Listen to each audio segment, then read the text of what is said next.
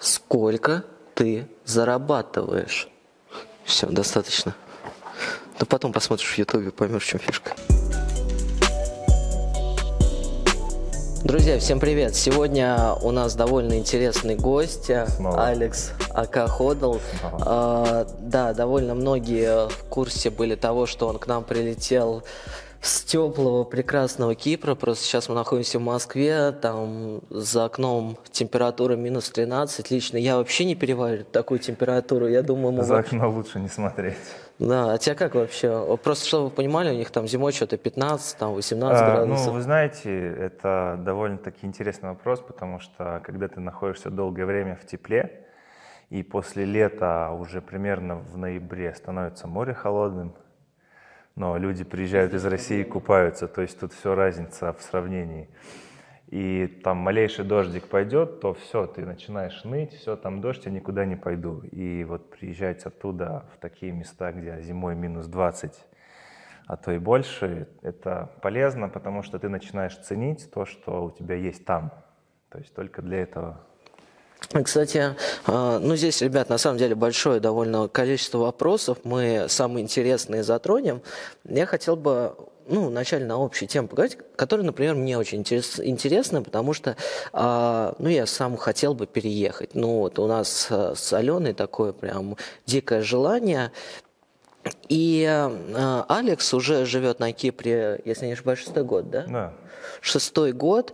А, И вот скажи, изначально ты из Москвы сам, да?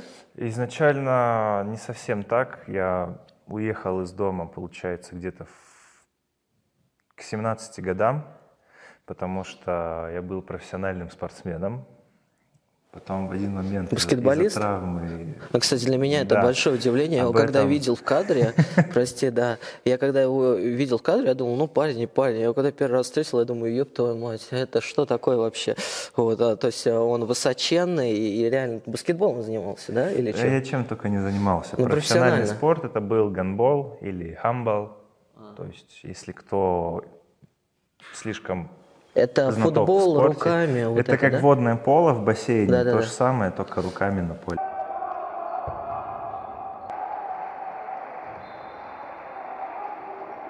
Потом после этого был жесткий депрессняк, я думал, что делать. И у меня всегда была мечта почему-то в Испанию уехать. Вот. И я всегда представлял, что я там где-то на пляже сижу. И получилось все так, что я прилетел туда.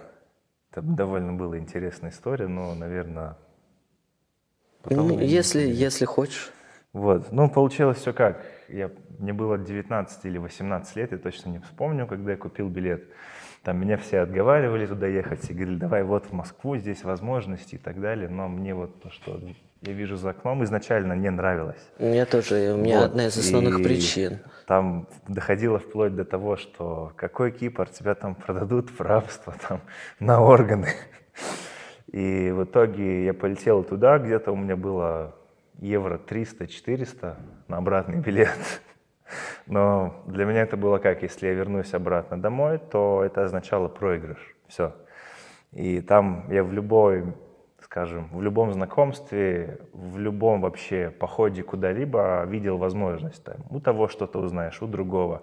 Так потихоньку нашел работу, арендовал квартиру, и вот так все поехало, и я пришел в криптовалюты. Вот Это- это минимум. А, кстати, вот интересно, ты пришел в криптовалюты с чего? То есть а, как так получилось? Вот это опять та же история. Вот получается, когда я работал там, это сезонная работа была, и зимой я тусил тут. Здесь я работал риэлтором. Ну, Вот.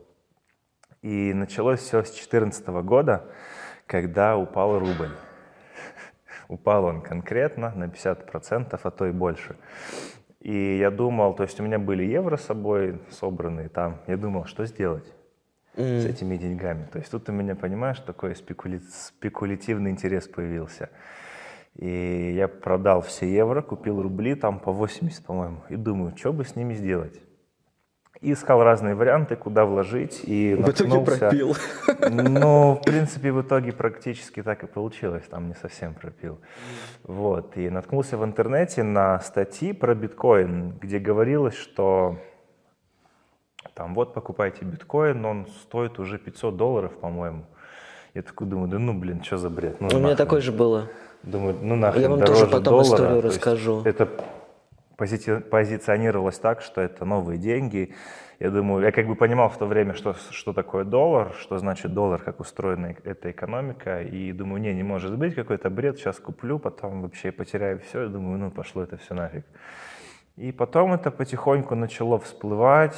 А, Я узнал, как все, как бы вот с самого начала 2017 года начал за этим следить. В итоге начал покупать. Покупал первые сделки удачно. А В итоге я купил Ripple по 3. Да ладно? Серьезно? Вот, но, Не, ну честно ты должен скажу, был уже смотреть мой канал. Вот в том-то и прикол, как я нашел тебя. Я тебя нашел поздно. То есть я купил Ripple, нашел твой канал примерно через полтора месяца. То есть у меня какая ситуация была? Были деньги, и все говорили, вот покупай, заработаешь. Ну, я купил.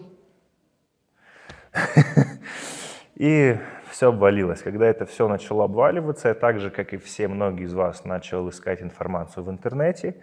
Нашел канал вот этого джентльмена. И думаю, блин, что-то не то. И начал пробовать торговать. То есть я купил еще по более низкой цене, по 2 доллара 10 центов. Ну, я тогда сделал правильную сделку, потому что это выросло обратно на 2,70. Я думаю, ну все, сейчас куплю еще Трейдер. и будет дальше идти. Да, Трейдер вот я трейдер. Да, у меня также был биткоин немножко. Я там, в общем, покупал на хаях, думаю, вот, куплю через там год, продам, буду миллионером. куплю Знаешь, себе, там, это, ламбу. ребят, вам тоже очень относится. Такая хорошая фраза есть, такая хорошая жизненная. Покупаешь на хаях, прокатился на... Сами да, Ну, Вы додумаете. знаете, да. В итоге я начал... с- Вот было так, что я там, когда этот трипл тот же опустился на полтора, я думаю, все, это точно дно. Покупаю на все деньги. Я там купил Ripple, биткоин, эфир почему-то не покупал до данного времени. Покупал там Cardano, всякие щиткоины, которые у меня до сих пор где-то на Binance лежат, и биржу давно уже не открываю. Я боюсь даже ее открывать там, когда заходишь только на страницу, У меня, видно кстати, на Binance тоже что-то такого говна много надо общий, да, зайти. видно общий баланс в биткоинах. Там я заходил, по-моему, А, кстати, насчет, э, извини, что тебя перебил, а, насчет шиткоинов, вот ты что считаешь, вот стоит э, торговать на какие-то Zero X, какой-нибудь э, жопа летит на Луну, там что-нибудь такое, а, Знаешь? какой-нибудь тон, тон, тон, телеграммовская Это монета. Ну, Она- она вышла вообще? Нет, конечно. Это все, А. что предлагают, это все скам. Но зато люди вот там мне пишут в комментариях, боты говорят, я купил уже, купил себе три Ламборгини. Но Или все-таки топ-5, топ-10, топ-20?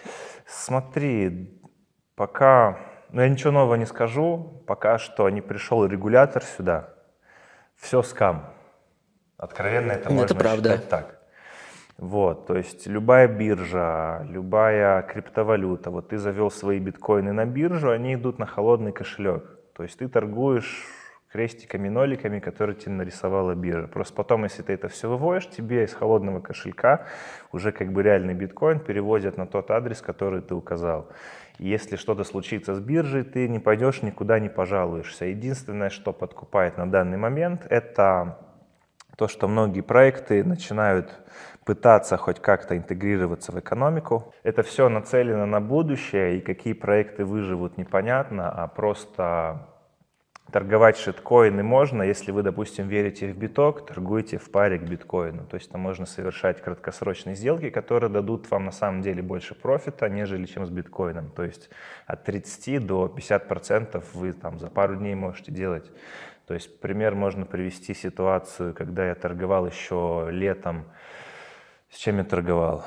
С Кабинхудом и Ойстер была, по-моему, монета. Ужас какой, я первый раз о них слышу. Да, вот они давали там за пару дней 30-40% к битку. И если в этом, с, с этого угла смотреть, Ну, то знаете, это перфектно. не, ну это как повезет. Я вот здесь очень все-таки считаю, как повезет. Во-первых, если вы торгуете не на топ альты, обязательно смотрите на капитализацию, потому что когда капитализация 1, 2, там 3 миллиона долларов, но ну, это уже более-менее капитализация, в принципе, проект может и стрелять, но все равно, как правило, 99,9% это вот то, что ваши бабки заберут вот на этом активе и улетят куда-нибудь в сторону РК Т8. Ну да, это был тонкий троллинг и намек. Не, на самом деле, все-таки, несмотря на то, что сейчас все активы, сейчас реально они очень опасные, а, и лучше все-таки брать те, где капитализация побольше. При этом вы обязательно должны помнить тот момент, что э, есть э, активы, у которых большая капитализация, но она надутая. Например, тот же биткоин кэш. Тупо форк битка. Туда вот его капитализация огромная, э, но она просто нарисовалась из воздуха. Поэтому надо все-таки брать те активы, в которые люди инвестируют реальные деньги. На данный момент это такие крупные активы, как Ripple. Вот Алекс его любит. Я не очень люблю Ripple, а, потому что... Я объясню, почему. А, Я тебя перебью ну, пока. Ну. Вот по поводу дутой капитализации и форков. Вот вам будет хорошая тема для размышления. Вот подумайте, когда был форк ну, биткоин кэша, Откуда взялась его первоначальная стоимость? То есть кто ее установил и за счет чего она была установлена? Вот над этим, я думаю, стоит подумать. Да. Да. Так вот, насчет Ripple я все-таки отвечу, почему я не очень долюбливаю этот актив. А, потому что смысл Ripple, ну то есть если заглядывать его в фундаментальное значение, Ripple должен быть стейблкоином. То есть это его основной смысл. И рано или поздно, если все будет, грубо говоря, по плану, и Ripple будет продолжать со всеми партнериться, он выйдет а, в состояние полной стабильности, а, абсолютно минимальной, а, как-то ну, вылетел из головы слова, да, абсолютно минимальной волатильности и просто встанет на какую-то одну полку. Потому что изначально смысл Ripple в этом. Это не будет такой актив. Понимаете, в принципе, на, US, э, на USDT тоже можно торговать. А, но торги там, как и в принципе на фондовом рынке, Хочешь зарабатывать, просто торгуя на USDT, то есть USD, обыкновенный доллар, USDT, стейблкоин, а тебе нужен очень большой баланс ну, реально, чтобы там хоть что-то зарабатывать. Ну, я не знаю, ну, 100 тысяч долларов. Но чтобы реально там что-то чувствовать, чтобы хоть зарабатывать там тысячу долларов в неделю, там, ну, может, больше, наверное. Но все равно это вот маловолатильный актив. Все-таки большинство э, людей, которые пришло на этот рынок, они ищут активные, э, волатильные активы. Э, и из, этих, из этой всей массы активов, этих монет до хера и больше, лучше выбирать какие-то более-менее с нормальной капитализацией, нормальной командой. Типа того же на данный момент Рипла, какой-нибудь Stellar, потому что э, Stellar это актив, который априори будут прокачивать, я более чем уверен.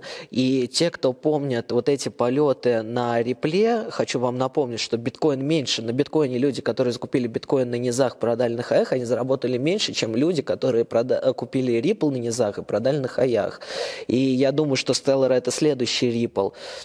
А, эфириум, потому что а, эфириум почему? В принципе, эфириум это скам-скамный, жесткий вообще капец.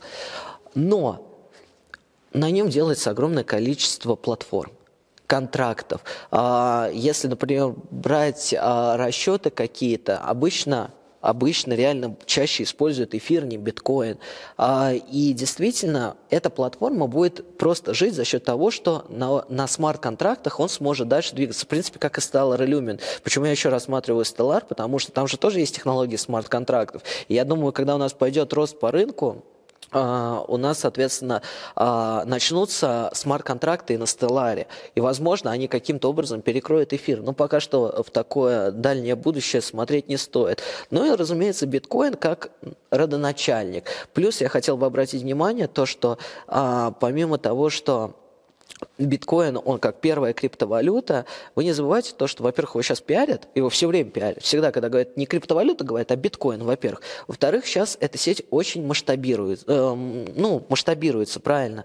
То есть, соответственно, не забывайте про Lightning Network, какая там сеть сейчас. Сеть просто, она увеличивается ежедневно, размер этого Lightning Network, и это тоже надо обращать. Нельзя брать только а, паттерны, теханализ. Обязательно обращайте внимание на фундаментал. Ну, добавлю от себя фундаментал только если вы инвестируете на долгосрок, то есть на да, будущее. Да, да, да, да, это правильно. По поводу паттернов и то, что ты сказал. Это краткосрочная локальная да, торговля, да, я согласен. Месяц. Так, смотри, давай, ну что самое интересное, посмотрим, поотвечаем на вопросы подписчиков потому что был анонс, народу много написало.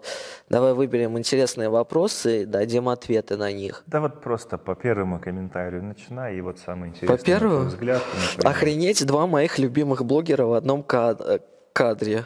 По скриптам за мат дизлайк. Повышайте свою культуру. Есть что ответить? Ну, насчет культуры только. Я думаю, это не касается криптовалют. Если интересно будет записать нам, либо вам услышать ответ там про культуру, мы это сделаем. Просто о культуре говорить сейчас в наше время... Ну, я не знаю, я каждый раз я смотрю на графики, мутюгаюсь. Да, это как бы более в глобальном масштабе зависит. Вот, допустим, как с моим примером, с переездом сюда, вот пример тебе яркий приведу. А, ну, я привык там, если открываю дверь, всегда пропускаю человека, который проходит. Ну, я не знаю, это вот привычка у меня такая выработалась. Вот буквально пару дней назад выхожу из подъезда, и заходит девушка с коляской, и на ступеньках есть такая фигня, как, как рельсы, желоба которые, металлические. Да, на которые ты поднимаешь. А я вообще не обращал никогда на это внимания и спрашиваю, там, вам помочь? Вы заедете, потом смотрю, или там рельсы есть, вы сможете. В принципе, я вам могу помочь. И там такой, нет, спасибо. Знаешь, как будто ты, знаешь, вот говно в Но это я ж мать. Нет, нет, это я ж мать. Он встретил такую. Не, на самом деле у нас это очень просто даже часто. относится тоже к культуре. Нет, сказать там, ладно, спасибо, все, не надо ничего. Нет, вы что, спасибо. Ну, таких дофига больше у нас. Ой, смотри, вопрос интересный на самом деле. Я, несмотря на то, что сейчас уже выпуск записал свой, а, что с эфиром? Что с эфиром? Очень интересный вопрос и очень интересная ситуация по нему именно с объемами. То есть пока что, вот я говорил всегда Ripple первый актив, сейчас первый актив у меня становится Ripple, потому что... Эфир? Эфир, да. Эфир. То есть он наравне с реплом. Кстати, знаете, э, не сговаривались мы с ним, ничего не обсуждали, никак вообще это не связано. Э, я тоже сейчас что-то на эфир в основном торгую. Несмотря на то, что я его недолюбливаю капец. Но вот почему-то... Сейчас, знаете, эфир, у него более прозрачные границы, он дает заработать. Вот как-то так. Да, и учитывая объемы, которые вот сейчас рисует нам график, откройте тоже TradingView, он превышает в два раза те объемы при пампе до 1500. И вам вот такой же, тоже такой вопрос на размышление, что будет с ним через полгода-год. А я как-то давал ответ, то, что он, у него есть огромный шанс повторить путь биткоина в 2017 году. То есть там до десятки может, для кого-то бред покажется, но он может дойти. Только если основываясь на объемах. На объемах? А как пойдет дальше разворот, как себя будет вести биткоин и вообще рынок, это уже Ты знаешь, здесь еще один момент такой есть, который нельзя упускать. А, до десятки, да, возможно.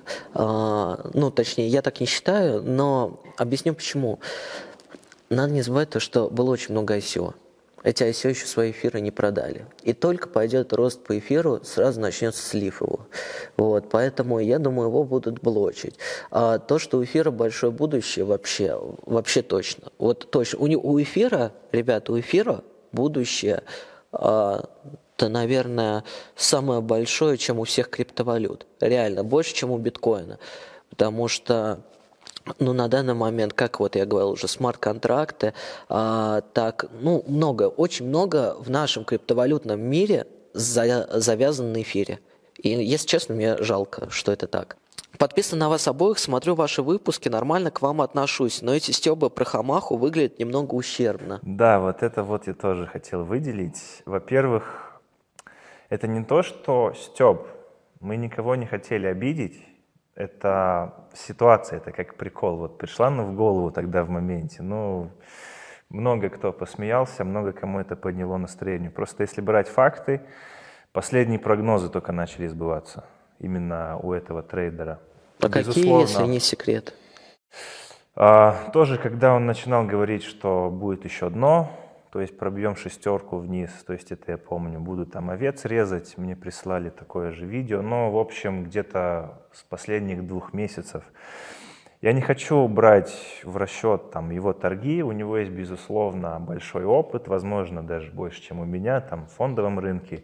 Безусловно, он добился хороших успехов, сделав как бы свой бизнес тоже в трейдинге. Да. да. Я, я скажу так про Хамаху, извини, что тебя перебью. Я все-таки считаю, что он хороший маркетолог. Вот э, сделать так, почему лично я его стебу, потому что я молодец сказать везде. Ни в коем, ни в коем случае не признать, что ты не прав. Ни в коем случае. У меня, я не понимаю этого. Мне как-то похеру. Вот я, я не знаю, как Алекс, как он позиционирует свой канал. Я позиционирую свой канал как свои торги. И мне вообще абсолютно похеру. Прав я, не прав я для вас. Для себя, конечно, не похеру. Вот. И когда меня сравнивают, говорят, а вот Хамаха говорил раз в неделю что-то там, э, сбоку наперек, и потом мне это вот на меня переносит, что говорит, а ты типа лошара по сравнению с Хамахом. Меня это злит. Вот. Плюс, как он, ну, в принципе, о криптосообществе отзывается, как он в свое время там всем писал всякие гадости, что там все дно, а он один красавец. Поэтому я его стебу а, как профессионал, я не знаю, я видел его курсы, ничего там сверхъестественного нету. Я ничего не могу сказать такого. Мне не нравится ЧСВ. Вот я сразу, у меня такое ЧСВ чувство собственной важности, кто не понимает.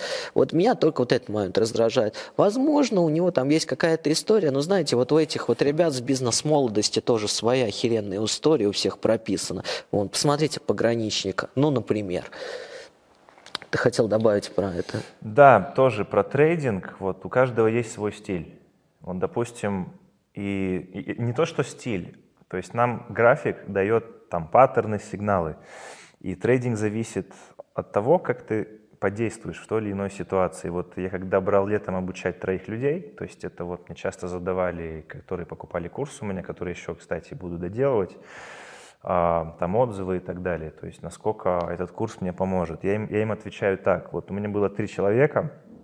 Один в первый месяц сделал 150%, один ушел в минус, там я не помню сколько, а второй заработал там 20 или 30. То есть вот тут вопрос, почему так? Информация была одна и та же. А что касается Хамахи также, то есть я о, о нем узнал про тебя из твоего топа каналов про криптовалюты, и там мне тоже писали, вот как ты его можешь сравнивать, ты даже не торговал Америку, у тебя нет опыта. А я скажу так, вот когда я играл професс... ну, спорт, в гамбол, то у нас тоже были игроки, которые там занимались больше меня, но я был в основном составе, а они нет, то есть занимаясь меньше. И извини, тот человек, если ты нас смотришь, вот у нас был игрок по фамилии Коротков. И когда, ну, относительно хороший игрок, но в целом хреновый был. Ну, я думаю, он не обидится, то есть сейчас взрослый стал, мозги появились. И когда мне задают вопрос там про опыт и так далее, я говорю, вот Коротков тоже гонболист, он занимался там 10 лет, я занимался 4 года и показывал больше результатов. Это, кстати, правда. То есть все это относится не к опыту, а к результату. То есть всегда придет тот человек, допустим, Неймар, который перегонит Рональда, Месси и так далее. Это, знаете, это правильно. Э, если проще, по-русски, на каждого хорошего снайпера есть снайпер лучше. Да. Ripple заменит когда-нибудь биткоин? Это опять же вопрос к ситуации, но Мое мнение изначально складывалось всегда к тому, что биткоин, он тяжелый, никому не нужный. То есть сейчас начинает его масштабировать, соответственно, возможно, он найдет свое применение. Если нет, то он просто получит ногой под зад, потому что ему в спину стучат более быстрые, более перспективные проекты. Mm-hmm. То, что там... Я смотрел, кстати, интервью с Тони Вейсом, было бы неплохо тоже с ним записать. Он говорит то, что это единственный проект, который децентрализован. Но я с этим не согласен, потому что... Кто, Ripple? Нет, биткоин. А. Вот. И он говорит то, что все это компании для поднятия, то есть для прокачки своего имени, там, допустим, как Бутерин, еще кто-то. Вот. Я считаю, это не совсем правильно и не стоит это именно так воспринимать. потому что любой проект – это бизнес. Бизнесу что нужно, то есть какая цель? Это прибыль, естественно. Хочешь не хочешь, ты этот бизнес будешь продвигать и развивать. Если он лучше, чем биткоин, в итоге рано или поздно он заменит. То есть часто приводили примеры с кодеком, когда эта вообще компания умерла, там Siemens, Nokia, пожалуйста. При этом раньше они были абсолютными лидерами. Да. Например, э, ну, Siemens, ладно, они там в другую переквалифицировались, Nokia. То есть это абсолютный лидер на мобильном рынке. Сейчас да. таких просто нету фирм, как тогда была Nokia.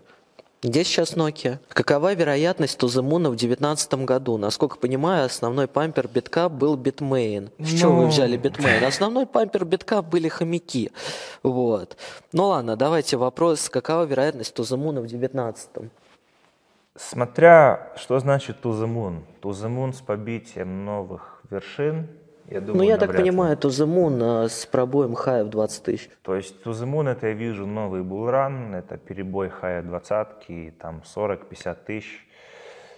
Есть вероятность, то есть это опять же вопрос к той же ситуации, никто не может предугадать. То есть есть, допустим, определенные параметры, это как ты едешь, допустим, на машине, у тебя фары светят на 40 метров. Но ты едешь, там, проезжаешь путь в 100 или больше. То же самое с крипторынком.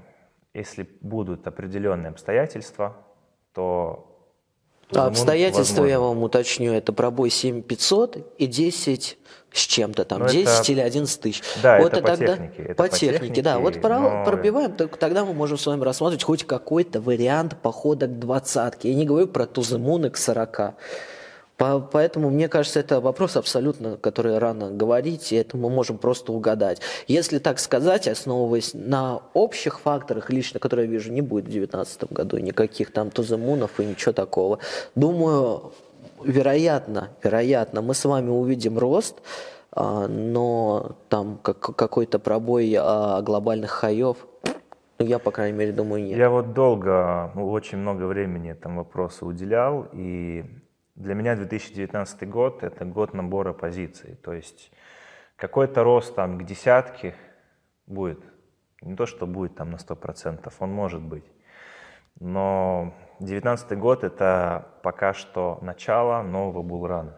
То есть 20 Я согласен абсолютно. Набор позиций абсолютно 19 точно. ну, мне пока слабо верится, учитывая динамику крипторынка как самого. То есть он по волатильности обгоняет все существующие и вообще знакомые нам и вам рынки, поэтому пока так. Полностью согласен, даже здесь нечего. Так, как вы относитесь к, к автоматизированной торговле?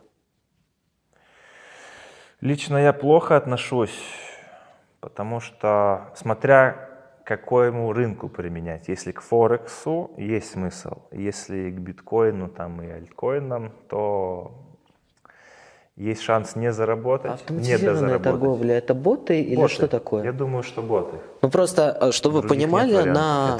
Как? Нету. Наоборот, как раз-таки на фондовом рынке, что такое автоматизированная торговля? Это когда тебе бот реально говорит, такой-то уровень, такие-то паттерны, хочешь войти или не хочешь войти. Вот это круто, я считаю. Такое было бы классно. То есть, когда он отслеживает, он тебе объясняет, почему сейчас хорошая точка входа, и ты реши сам. А то, что на данный момент продается за там 3 биткоина какой-то бот, э, по-моему, это какая-то дичь. Ну, Я не знаю, вот ни одного человека, который на этом заработал. Зависит тоже от временного промежутка на да, графике. Да. Вот если вы там торгуете на часовике... Они нахер не нужны. Да, ну вы не уследите. Вот если, допустим, купил сегодня и ждешь там месяц, чтобы продать на 50% дороже, к примеру, это вы можете сделать собственноручно и сделать более качественно, чем это преподнесет бот. Окей, если вы там миллионеры, вам больше ну, не хватает времени этим заниматься, то да, бот, который вам будет приносить из ваших свободных денег там какой-то процент, я и думаю, есть смысл, при этом вы будете тратить ноль временных затрат. Но это все равно что-то из области фантастики. Но здесь, смотри, хороший вопрос есть. Замутили бы мы свой токен как ракетчик? Я не знаю, что у них за токен по поводу токена Токен, и короче, проекта я уже расскажу, если ты не знаешь, токен у них а, заключается в том, что прокачка YouTube каналов. У них там есть YouTube каналы, вот эта накрутка, я не знаю вообще, кто этой херней занимается накруткой. Я не знаю, мне непонятно это понятие вообще накрутки. Вот, ну, в общем, ты покупаешь их токен, за этот токен делаешь себе накрутку, вот, и типа этот токен, они как-то хотят, чтобы он рос. На самом деле это, а, ну, очень сомнительный проект, поищите про него в интернете, там на одном канале, я не помню на каком канале, очень хорошо рассказали про токены RKT8. Очень хорошо, как Серега, из хорошего парня. Серега вообще молодец, я, его, я очень любил его канал. Чтобы вы понимали, канал э, Сергея я смотрел до того, как э, он начал заниматься криптовалютой. Это был крутой мотивационный канал, охерительный мотивационный канал. Но э, немножечко его, мне кажется, бабки... Ну, знаете, вот как говорится, есть люди слаб, э, слабые на передок, вот в плане бабок. Но для меня это странно. То же самое пытаться заработать на всем с YouTube-канала. Блин, был хороший канал, начали делать проект, чтобы всех собрать, и мне кажется, это неправильно. Все-таки должно быть какое-то уважение. И если, я думаю, мы с Алексом и сделаем свой какой-то монет, свой какой-то монету, свой какой-то проект, это будет именно какое-то достойное, что Но достойное. уже почти готов. Ну, там, я, да, я не хочу так анонс сделать, но это будет то, что не будет всех кидать на бабки. И, э, а вот так брать, просто собирать кэш при любой удобной возможности, мне кажется, это неправильно. Так, по поводу... Сейчас добавлю. По поводу токена, ракеты. Вообще, в этом всегда нужно понимать. Вот если вы какой-то проект входите, вы должны понимать, какую пользу он несет людям. Потому что любой успешный бизнес, оглянитесь просто вокруг, там, iPhone и так далее. iPhone в свое время нес очень весомую пользу для людей. То есть, какую проблему я могу решить, продвинув, скажем, вот тот же наш фонд. То есть я по себе знал, вот как я пришел в трейдинг, я вот, кстати, хорошая мысль бы- была, я не договорил. Когда вот я на последней бабке там купил этого рипла, я трое суток не спал. Я сидел вот перед монитором. Бывало такое, там жена на кухне что-то тусуется, я ей ставлю ноутбук, говорю, смотри, если пробьет там такой-то уровень, быстро меня буди, чтобы я отреагировал. Это не прикол. Вот я буквально, буквально спал часа два в сутки. Не, просто смотрел на график. такое. Соответственно, я выделил некоторые закономерности. В итоге, потратив кучу времени и нервов, я пришел вот, я бы не сказал это успехом, но к примерному пониманию рынка, но у меня есть успешные торги. Там хоть у меня нету там десятилетнего опыта, потому что вот в любую рекламу открой трейдер с десятилетним опытом, а какая разница? Как- а какой десятилетний какой? опыт? То Я вот хочу, результат смотреть. извини, что я тебя сейчас опять перебью. Я хочу сказать, вот я до этого торговал фонду. Ну, я на платине торговал и тому подобное. А, а вообще разные вещи. Ну, вот там одно, одна стратегия, здесь другая. Вообще другая. Вот я вам скажу так, более, более того скажу. Вот я на Форексе херово торговал. Вот, вот херово. Да, там что-то нормально шло, что-то хорошо, но в основном не очень. На крипте я словил фишку, как торговать. Я понял, что, где, куда и э, разные рынки. Ну, вот действительно, может, когда-нибудь они придут к одной закономерности. Ну, у меня, по крайней мере, тоже опыт растет. А, ну, разные рынки. Разные рынки. Сейчас а, реально специалисты, которые разбираются в этой области, они только растут. Нету сейчас охерительного чувака, который знает, блин, все. Да. Тот же пример с поиском блокчейн-программистов и специалистов. Ну да, для это своего тяжело. проекта это либо они там стоят очень дорого, либо их просто нет. И нужно там вот в то, что ты хочешь сделать, привлекать там двоих-троих. А это стоит очень дорого. Вот, и по поводу там бизнеса. Вот когда ко мне пришла идея с фондом, а, Почему эта идея возникла? То есть я по своему опыту знаю то, что сейчас тоже очень много неопытных людей, которые там не в те биржи заведут деньги, там сделают ошибку, будут тратить те же время, тоже те же бессонные ночи, перед компьютером. То есть этот вопрос, он решается нашим фондом. И плюс будет страховать той технологии, которые я вам говорил еще в том видео. В каком вы найдете на канале, или мы вставку где-то сделаем, где-то вот здесь. Вот. И он на самом деле будет приносить пользу. То есть, допустим, если ты едешь на машине, у тебя будет реально понятное приложение. То есть, допустим, мне часто пишут новички, которые попадают на BitMEX. Они открывают и закрывают, потому что там ну, это как кнопок. Я. я пока тоже с битмаксом не разобрал. Я честно говорю, я хочу, я хочу, но мне прям лень. Там столько кнопок. Вот я хочу сделать это, оптимизировать таким образом, чтобы это было понятно тупому. Вот который открывает, так, купить, продать, кнопка такая-то, такая-то, такая-то. Все. Чем проще, тем будет проще людям войти Новичковые в это ошибки, чтобы не делать. Да, то есть они за счет этого, окей, поначалу это ясно, что будет меньше доверия. Там, я даже не удивлюсь, что многие из вас начнут кричать, вот вы еще один новый скам придумали. Ну да, так и начнут, Но... уже начали. А, да? Ну, я конечно, я сейчас тебе, на подожди, стоп. Два клоуна встретились и придумали, как кидать людей на деньги. На, на тебе. Знаешь, вот к этому есть такой хорошая, такая хорошая мудрость. Дурака легче обмануть, чем научить. Это, да. кстати, правда. Это правда. Ну, если, я не знаю, кто это писал, вот если ты дурак, тебя будут обманывать постоянно, где бы ты ни был. Поэтому, если нет мозгов, нет ничего. Ну да. Не, на самом деле все это нацелено на то, чтобы просто вот убрать вот эти новичковые ошибки, которые допускали все.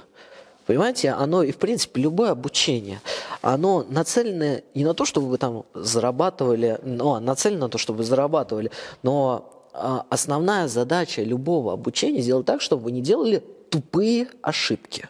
Да, можно ошибиться где-то по-крупному. Не, я не имею в виду по деньгам, я имею в виду именно с теорией. Вот. Например, даже вот я ошибся, реально ошибся с шестью тысячами. Я, блин, не ожидал. Я считал, что все, 6 тысяч накопления.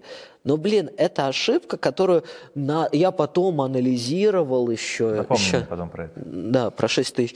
Вот, я потом еще анализировал, думал, где меня накололи. Но, понимаете, ну, были у меня ошибки, когда я переводил э, с кошелька биткоина на биткоин, наоборот, с биткоин кэша на кошелек биткоина. И потерял, соответственно, биткоин кэша, там что-то тысяч на 40 или на 50. Поэтому это разные рублей. уровни ошибки, да, рублей. А, не, не долларов, не долларов. Ты что? Я, я это за рубли тогда почти это думал, еб твою мать, какой дурак. Вот. По поводу 60 тысяч ты хотел сказать. Да, по поводу 6 тысяч. Это вот ты думал, что это набор позиций. А тут вопрос такой вот к зрителям. А, ну, все приходят на рынок там, кто-то с сотней, кто-то там с пятью тысячами, кто-то даже со ста, этого мало. И тут нужно понимать, как работает крупный игрок. Вот, вот на твой взгляд, как работает крупный игрок? Вот чтобы набрать позицию и пропампить дальше цену, что нужно сделать? Вот представьте, что у вас там есть пару миллионов. И при... Сколько у нас сейчас суточный объем торгов биткоина? Да хрен его знает. Ну, неважно. Допустим, где-то пара процентов от его всего депозита. И чтобы набрать вот эту вот всю позицию, представьте, сколько нужно времени. А, и мы никогда не знаем целей последующего движения. И представьте, что и 6 тысяч, и 3 тысячи – это зона набора позиций одного игрока. Потому что когда ты покупаешь по 6, по 6, в итоге продавцы заканчиваются. То есть тебе никто просто может не продать. И что нужно сделать? Можно опустить цену ниже, там, где начнется паника, где тебе еще дешевле будут продавать. Нету гарантии то, что 3006 – это не усреднение какого-то крупного игрока, либо какого-то фонда, либо группы, вот, либо какой-то группы вот этих игроков или фондов. Если цель 100 тысяч, понимаете, в чем прикол? То есть где будут распределять? А я давал как-то в выпуске такой индикатор зона накопления и распределения, там где, по-моему, с 2014 года я смотрел. Фаза, фаза накопления да, и распределения. только накапливается, то есть конкретного распределения, то есть еще сильного слива по биткоину не было. И не факт то, что он случится сейчас. И будет ли вообще. Может, он еще выше уйдет. Для каких-то целей непонятно. То есть все это может быть всего лишь фазой накопления до сих пор. Потому что, как вы знаете, что рынок криптовалют — это вот столько по сравнению с земным шаром. Поэтому это хорошая мысль задуматься и понять, паниковать вам или нет. Вот если вы видите, что идет цена, всегда ставьте себя на место там профессионального трейдера либо крупного игрока. И попробуйте просто вот остыть. Если вас не получается, идите там голову в холодную воду, в ледяную засуньте на минуты две. Да, или займитесь какими-то своими делами. Нет, серьезно, да. абсолютно. Когда ты не знаешь, что делать на рынке, вот многие со мной не согласны. Многие бесятся, многие меня оскорбляют. Но, сука, когда ты не знаешь, что делать на рынке, ты закрываешь биржу и занимаешься своими делами. Все. Потому что дальше это гадание и казино. Ну, не знаешь, что делать на рынке, когда реально нету каких-то там сигналов или еще чего-то. То есть это мы должны понимать. То есть когда, например, ситуация двоякая, либо вверх, либо вниз, либо еще что-то. Все, все, все свои. Либо стопами подпер, либо будильниками подпер, либо ушел без убыток и ждешь ситуации. Понимаете, нету никакой разницы. Вот я пытаюсь объяснить это довольно многим довольно давно хорошая цена и хорошая точка входа – это разные вещи. Абсолютно разные вещи. Например, 10 тысяч долларов – это хорошая точка входа? Ну, хорошая, нет? С целью на сотку – это идеальная. Вот он, человек, вот что отличает человека, который разбирается в трейдинге, в трейдинге, да, от человека, который что-то пытается угадать. Вот он сразу это понял. То есть даже Но, не надо было ничего говорить. То есть понимаешь, это отличная точка входа, если мы идем на двадцатку. Но это плохая, если мы сейчас на трехке. Извини, я тебя перебью. То есть трейдинг в чем заключается? В игре на росте, также для особо рисковых в игре на падении. То есть точка входа, она в любом случае хорошая. То есть нормальному трейдеру, ему пофиг, в какую точку входа выбирать. Он может на падении сыграть. Главное ее выбрать сыграть. хорошей, понимаете? И это не важно, какая цена. Абсолютно не важно. Главное выбрать ее хорошей. Поэтому там что-то торопиться, думать, то хорошая цена, все хорошая цена. Да нету такого понятия. Есть, хорошее, есть понятие хорошая точка входа. Это я бы, если честно, очень хотел бы, чтобы вы это запомнили и приняли. А лучше запишите на стикер и приклейте на монитор. Вот. Есть на самом деле основные а, ну, кстати, правила. правильно, ищу не цену, а точку входа. Вот. Да, вот на самом деле вот главные постулаты в трейдинге где-то ну, 6 для себя. Для меня это вообще, может, 3 какие-то основные вещи и все, благодаря которым ты можешь ориентироваться. Для кого-то может больше. Поэтому, я не знаю, я пришел к тому, что мне нету разницы. Вот у меня есть дериватива BitMEX. Я могу купить биткоин там по 20 если я увижу, что он будет падать, я куплю контракты в шорты, заработаю биткоин. Да, не так много, как на лонге. То есть почему, вот вопрос такой, почему все люди боятся шортить? Просто когда при падении ты не заработаешь тех процентов, которые бы ты заработал, скажем, в long. Приведу пример. А, скажем, вот вы купили биткоин по 10 и продали по 15 у вас 15%, о, о, у вас 50% профита. Нормальная Вырежи математика. Да. Главное, что профит У есть. вас 50% профита. И теперь представьте, что вы купили по 15 тысяч, но в шорт-позицию и продали по 10. У вас уже не 50% профита будет, а намного меньше. Вот это тоже стоит учитывать. Ладно, друзья, думаю, довольно много интересных моментов мы с вами раскрыли. А, на канале Алекса, ссылку вы ее найдете в описании, а, будет продолжение интервью, он мне будет уже задавать вопросы. А, я тоже постараюсь поделиться своей точкой зрения. Соответственно, переходите, если вам это все дело интересно. Вот, а мы с вами тогда на моем канале заканчиваем данное интервью. Спасибо, что были с нами. До следующего выпуска. Пока. Работаем.